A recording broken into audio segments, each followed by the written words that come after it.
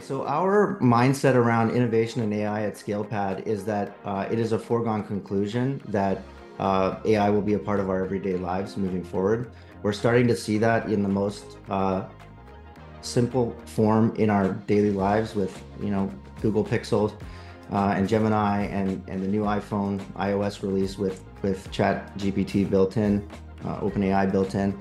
But we think of it in terms of uh, how can we bring that uh, intelligence out to the interface where our partners are interacting with uh, their technology, interacting with their uh, clients.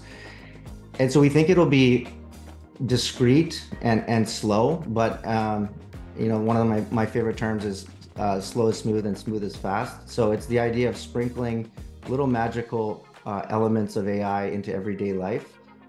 And this is not just uh, a feature, as, as I always talk about, it, it's really more of a, a, mindset around interfaces. So the idea that you consume um, a couple of products from ScalePad and just at the right time in the right place in that product, we helped you do something that might have taken uh, a minute and now it takes five seconds. Or uh, you're running a workflow and we identify that you're trying to do a task and we suggest, would you like us to just handle those six steps for you uh, across two products?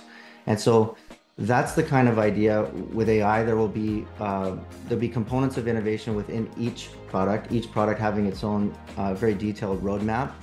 But then there's the, the platform roadmap, and, and where we see a lot of the AI happening is at the platform level. So interacting with the massive amount of data that's behind the scenes, making suggestions, and optimizing workflow between apps. So from a VCIO activity to a compliance activity uh, to a data risk activity, maybe with with um, with backups and disaster recovery, we see points of connectivity between all of those things, and we it's kind of our job to make sure we just uh, measure twice and cut once, um, but do stuff that really uh, blows your socks off.